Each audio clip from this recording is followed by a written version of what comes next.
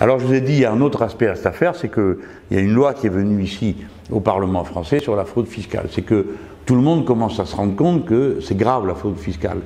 Euh, parce qu'au début, euh, je me rappelle, il y a quelques années, il y avait des gens qui avaient l'air de dire oui, mais enfin quand même, euh, les entrepreneurs, les grandes entreprises, elles sont loyales. bon, ils croyaient que c'était résiduel, quoi, un tout petit quelque chose qui manquait à la caisse de l'État. Et puis progressivement, on s'est aperçu que c'était entre 60 et 80 milliards d'euros de fraude fiscale. Pour vous rendre compte, les gens, que ça fait plus que ce qu'on paye tous les ans pour le service de la dette. Hein. Tous les ans, le service de la dette, ça veut dire ce que l'État français paye euh, comme intérêt pour euh, la dette.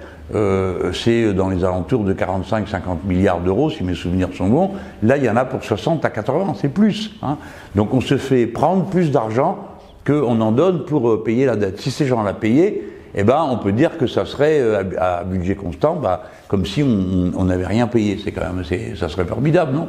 Puis maintenant, on en est plus loin, c'est qu'on s'aperçoit que la truande concerne 80 à 100 milliards tous les ans, rien que pour la France.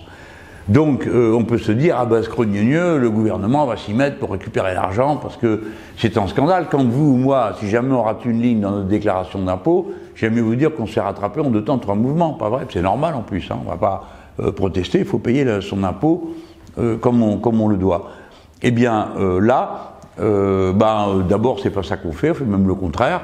Euh, on réduit le nombre d'agents qu'il y a à Bercy. C'est-à-dire qu'on diminue les moyens du contrôle tout en disant qu'on va maintenant euh, euh, contrôler et être bien sévère. Alors là-dessus, ils nous ont fait un numéro en disant Ah, la dernière fois, là, vous vous êtes tous mis d'accord, c'est vrai. Nous, les insoumis, on s'était mis d'accord même avec le Modem et les socialistes et les communistes pour dire on veut supprimer un truc qui s'appelle le verrou de Bercy. Alors le verrou de Bercy, je vais vous expliquer ce que c'est. vous avez euh, on a repéré qu'il y a quelque chose qui cloche dans votre déclaration d'impôt, vous êtes une grosse entreprise ou euh, une personne qui doit beaucoup d'argent, et euh, bah, normalement le, juge intervient. Là non, le juge n'a pas le droit d'intervenir, c'est seulement l'administration fiscale qui a le droit d'intervenir pour dire on poursuit ou pas. Alors qu'est-ce qu'elle fait l'administration fiscale? Elle négocie avec celui qui a de l'argent en retard de dû, il négocie un arrangement.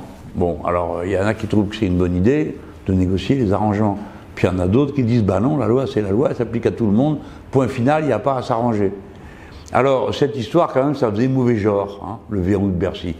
Donc euh, ils ont trouvé une astuce formidable, c'est de dire, ah euh, on supprime le verrou de Bercy, point, mais on maintient la possibilité de discuter euh, la somme qui est due par ceux qui ont des problèmes avec l'administration du fils. L'hypocrisie absolue, quoi.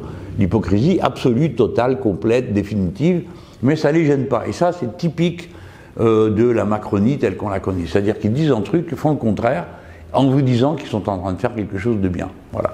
Alors là, c'est dans le domaine de la faute fiscale, mais dans tous les domaines où les lois passent euh, devant l'Assemblée nationale, on est à chaque fois confronté à des histoires de cette nature, de double langage, où on appelle ça euh, le langage orwellien. Alors si vous n'avez pas lu Orwell, vous ne pouvez pas savoir de quoi il s'agit.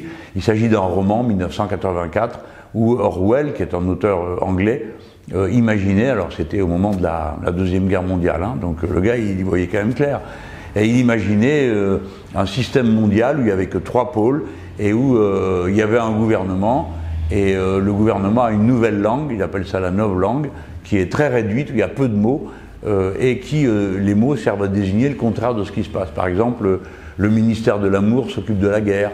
le, ok, vous voyez le, genre, voilà. Donc euh, les macroniens, c'est vraiment les rois de l'orwellisme, parce qu'ils font une chose, le nomment d'une autre manière et en font encore une troisième. Bon, voilà, ça c'est pour euh, la fraude fiscale, c'est cette semaine, c'est en train de se discuter au Parlement, et franchement, quand on voit ça, on n'a pas trop le moral, il faut bien dire comme c'est.